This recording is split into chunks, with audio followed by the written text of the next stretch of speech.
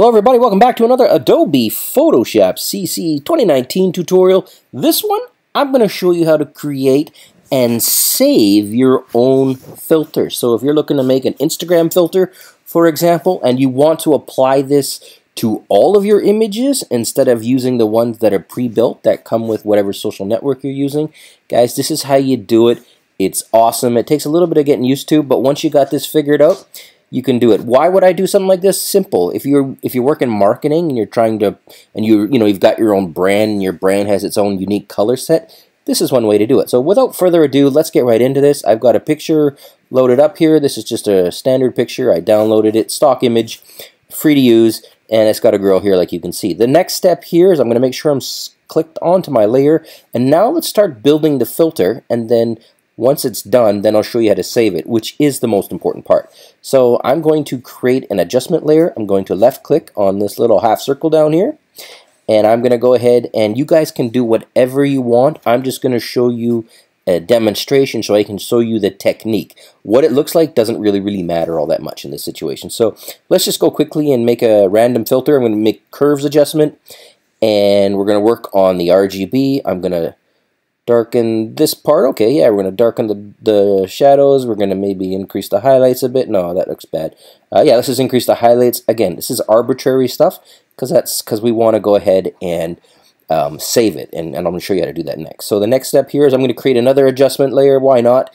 And in this one, I'm going to go ahead and work on doot, doot, doot, photo filter just because this is a really, really quick way to add some changes in here. This is the warming filter, by the way. Uh, there's all these different filters here that you can always uh, experiment with. But uh, let's just see what we got here. Warming filter 85. Yeah, that looks pretty cool. I'm going to put that up to, let's say, 30%. And then, you know what, just because I want to make it a little bit more fancy, I'm going to add another adjustment layer. And in this one, I am going to add... Uh, doo -doo color balance. And I kind of want to work on the highlights and I'm going to add in a little bit more of a red tint just because that's what we're going for. So, okay, so this is, you know, this is the kind of thing that you would see in a filter. Now, quickly before I show you the next step, I'm going to turn all of these adjustments layers off. This was the beginning. This is the end. So again, not super fancy, but that's not the point. Now the next step, and this is where it gets really, really interesting, is I want to save this. This is a filter and I want to apply this to all my images or to a bunch of my images. Okay, what do we do next? Well, the next step is to go to File. You want to go to Export and this is a color lookup table. We're going to export this as a color lookup table. Now, this is the name of the image. This isn't a very good description, so I'm going to call this red.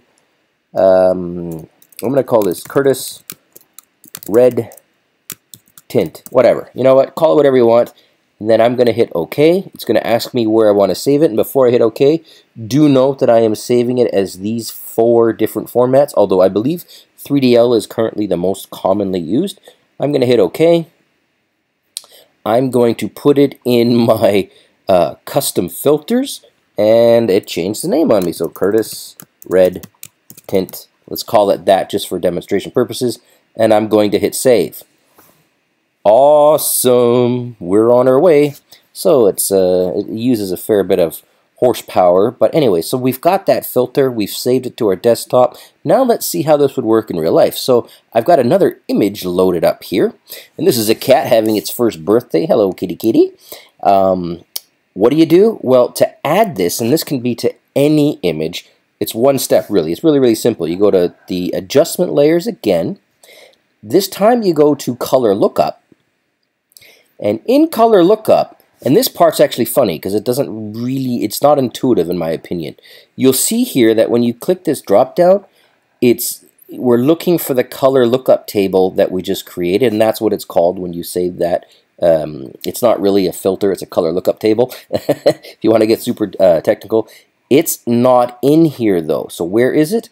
That's the thing. You actually have to click and left click on the check mark load 3D LUT um, which stands for lookup table. It is very strange because this doesn't make a lot of sense to me, but you have to left click over here.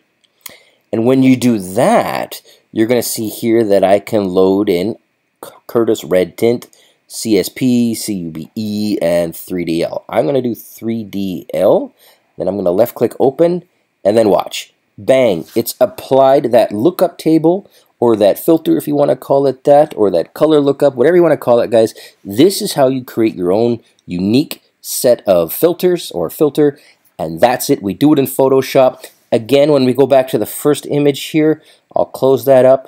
Do keep in mind that you guys can go nuts, so do whatever you want. You want to make it darker, you want to make it brighter, you want to add in red tint, blue tint, purple tint, whatever your filter is, do that using these adjustment layers and the various features in Photoshop. And once you got it, just like I showed you, that's how you save it. That's how you lock and load, guys. That's it for this tutorial. Thanks for watching. I got a ton more stuff coming. Talk to you soon.